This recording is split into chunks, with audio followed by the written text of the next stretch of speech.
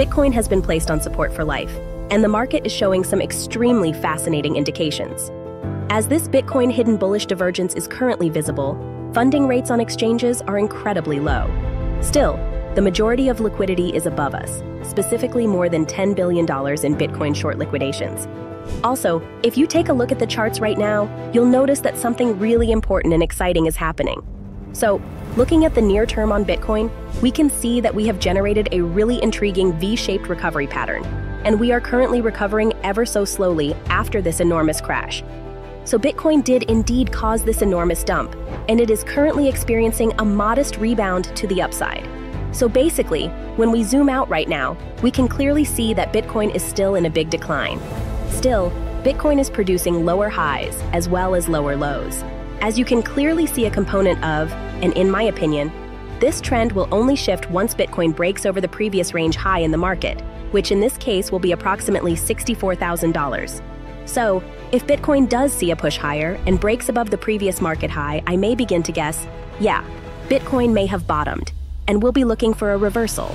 But as long as we don't break that level, and maybe experience a rejection from it, Bitcoin's downturn will most likely continue. That is some really vital and critical information. Also, if you examine the present pattern, Bitcoin is currently resting on the most critical support box of the entire consolidation phase.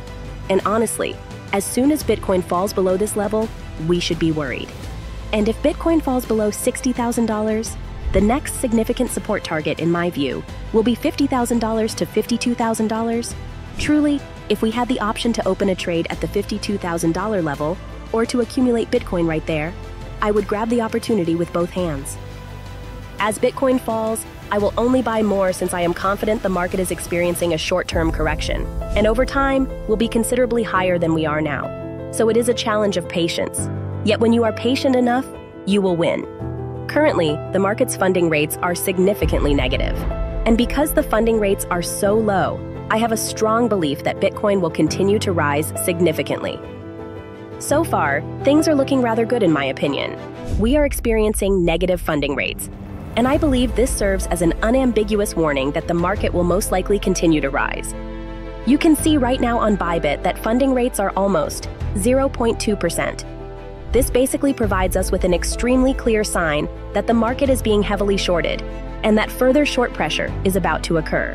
And then, if we glance at the liquidation heat map, we are able to see that the majority of liquidity is still above us.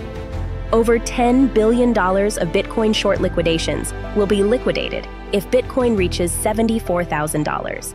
And I believe the market will most likely attain that aim. So it's only a matter of time till we reach it. And then, in my opinion, you simply have to stay patient, given that Bitcoin will eventually acquire that topside liquidity. Then if we go any further down than we are now, I will desperately want Bitcoin. If we reach $52,000 or $54,000, I plan to open a $1.50 to $2 million Bitcoin long position. So maybe we'll be able to come down, which would allow me to open up a significantly bigger advantage than we possessed before. The large consolidation phase is one of the most critical stages.